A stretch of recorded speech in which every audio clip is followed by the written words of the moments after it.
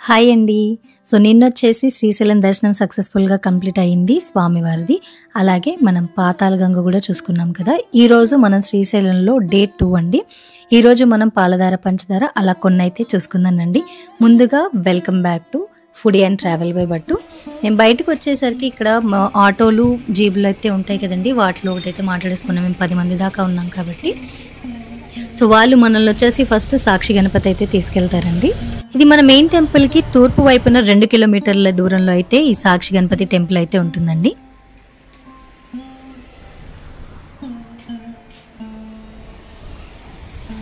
లోపల వైపుకి ప్రదక్షిణ చేయడానికి వీలుగా లేకపోవడం వల్ల నేను బయట నుంచి ఒక ప్రదక్షిణ చేస్తూ ఈ ఆలయం ప్రాంగణాలు అయితే నేను మీకు చూపిస్తున్నానండి.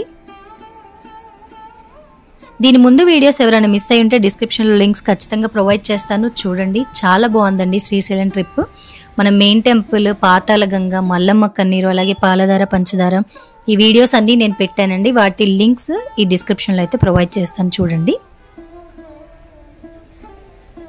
ప్రదక్షిణ అయిపోయిందండి. ఇప్పుడు టెంపుల్ లోపలికి అయితే వెళ్ళిపోదాము.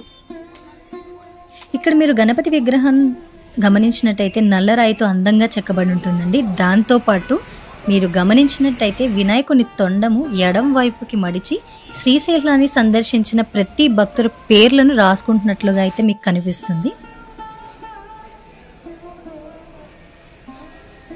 అందుకే శ్రీశైలం వచ్చే ప్రతి భక్తులు ఈ సాక్షి గణపతి టెంపుల్కి వచ్చి వాళ్ళ గోత్రనామాలు అయితే చెప్పుకుంటారండి. దీనికి ఒక కారణం లేకపోదండి. ప్రతి భక్తుడు శ్రీశైలాన్ని సందర్శించినట్లు కైలాసంలో ఉన్న శివునికి గణపతి సాక్ష్యం ఇచ్చారంట అందుకే ఆయనని సాక్షి గణపతి అని పిలుస్తారు. అందుకనే శ్రీశైలం వచ్చే ప్రతి భక్తులు ఇక్కడికి వచ్చి దర్శనం అయితే చేసుకుంటారండి. మీరు కూడా శ్రీశైలం వెళ్ళినప్పుడు ఖచ్చితంగా సాక్షి గణపతిని అయితే దర్శించుకోండి. ఓన్ వెహికల్స్ మీద వెళ్తే మాత్రం మీరే వెళ్ళాల్సి ఉంటుంది. అదే జీప్ గాను ఆటో గాను మాట్లాడుకుంటే ఫస్ట్ వాళ్ళు సాక్షి గణపతికే తీసుకెళ్తారండి. సో ఇదండి మన సాక్షి గణపతి వీడియో. ఎలా అనిపించింది? నచ్చితే లైక్ చేసి మన ఫుడ్ అండ్ ట్రావెల్ ఛానల్ని సబ్స్క్రైబ్ చేసుకోండి. Thank you